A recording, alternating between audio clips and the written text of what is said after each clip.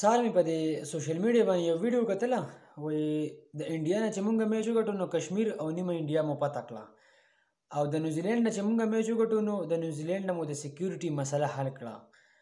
او چې نن مو د افغانستان سره کوم میچ دی نو دوی له به د امن پیغام ورکو نو د افغانستان نه نن میچ وګټو ملګرو ډېر زیات خوشاله ما یقینو که د خوشاله مې څه حد نشته او بیا د آصف علي بیټنګ ډېر زیات خوند وکړو خوا کې د سر شیر کوم د آصف علي دا بیټنګ دا تاسو وګورئ او دوه درې خبرې هم کوو په میچ په باره کې پاکستان ورسز افغانستان ډېر ښکلی ګیم شو اخري اورونو ته راغلی میچ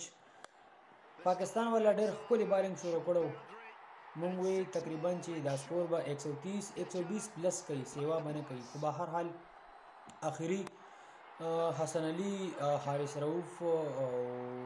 دی د اخیری دوه درې ورونه لږ غلط وکړه خو به هر حال دینه مخکې چې کوم میچونه شوي دي نو ډېر ښکلي شوي دي یو میچ پسې به نه ځو چې زمونږ یو بالر یو میچ کې غلط پرفارمنس وکړو مونږ به دا یو یادو او شاته به دوه درې نه یادو به هر حال شاته چې کوم دوه میچونه کړي ډېر ښکلي رزلټ یې ورکړی خو د یو میچ کې پرفارمنس غلط شو دا د میچ اصول دي دا پکې راځي خو خبره کوو د افغانستان په بیټنګ په باره کې ملګرو که تاسو سوچ وکړئ افغانستان لمبۍ چې کوم 20 کړی دی د سکاټلینډ خلاف ډېر ښه بیټنګ یې کړی دی بس د افغانستان بیټینګونه چلیدو شهزاد او ززای که دوی لږ چلیدلی وي نو پریشر به بیا په موږ باندې ډېر زیات خو به حال پریشر مو اوس هم لږ اغستی و میچ مو اخري اوور په راوستو شهزاد او ززای چې کوم دی نو ډېر زر اوټ شو وکټ ټینګ نه شوه کم از کم فار پلی کې ولا څلور چتیس باندې اوټ کړو کو درې خو افغانستان چې کوم ښه پلیران هغه یې تلر کړو بیا اخر کې نبی او ګلبدین هغه پارټنرشپ شروع کو پارټنرشپ 50 پر ورسو 60 پر وکټ وردولې وا سکور به هر حال ورسو پاکستان ول ډېر ښه بیټینګ شروع کړو بابر اعظم پکې 50 شروع کړو ډېر سلو وکټ نه ور کوله فخر زمان ډېر ښه بیټینګ کو او حفیظ ملک حفیظ ملک ډېر ښه بیټینګ کو خو اسف علي بیټینګ ډېر زیات غټ کار وکړو که میچ لاست ور ته پاتې شو نو میچ په ډېر زیات ګران ګرانو ولې چې د دې ستر اوور نه مخکې نوید کم اوور وکړو نوید الحق ټول سلو ون وکړو غالبا دوه درې رنز یې ورکړه که لاست اوور کې میچ پاتې شو نو بیا به نوید راتلو لاست اوور دغه او دغه سلو ون به نو بیټسمین به په تیز راتلو یا به ته کیش تلو یا به بونډري له واتلو خو بهرحال په هغه یو اوور کې اسف هغه میچ راغون کو نو ډیر خوشاله یو او د خوشحالۍ مو څه حد نه ځکه چې میچ ډیر اخره کې ډیر ګران شو بابر لاړو حفیظ لاړو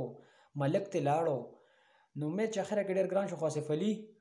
چې کم دی نو ډېر زیات راغون کو هغه یو فني خبره ته کوم یو خبره ته فني کوم خپګیږي څوک نه زما یو ملګری دی دوه درې او ما سره پېښور کې وو هاسټل کې د افغانستان دی اوس مې په دې سوشل میډیا باندې یو فني ویډیو کتله وایي په افغانستان کې چې څنګه د طالبانو حکومت سم زر راغی که نه وایي داسې آصف علي هغه مې سم زر راغونډ کړو اورې نو پاکستان مې وګټو هیرو از آصف علي ګډ بیټینګ ډېر زبردست بیټینګ وکړو مین اف د میچ یې موله ورکړو په صد بال پچیس او ډېر ښکلی بیټینګ وکړو څلور چکې ووالې په دې یو اوور کې او یو اوور ته پاتې شو نو انشاءالله دعا به کوو خپل ټیم دپاره چې داسې مخکې رواني او کامیابي ترلاسه کړو ډېر زر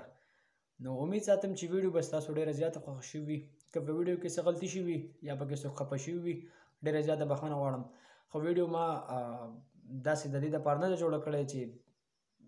یو ملګری دې په تنقید کې یا دې په یو ملګری خپه شي به هر حال د میچ خبرې وي تاسو سره مې شیر کړې میچ په تاسو هم کتی وي خو مونږ دې ډیره انجوای واغسته د الله فامان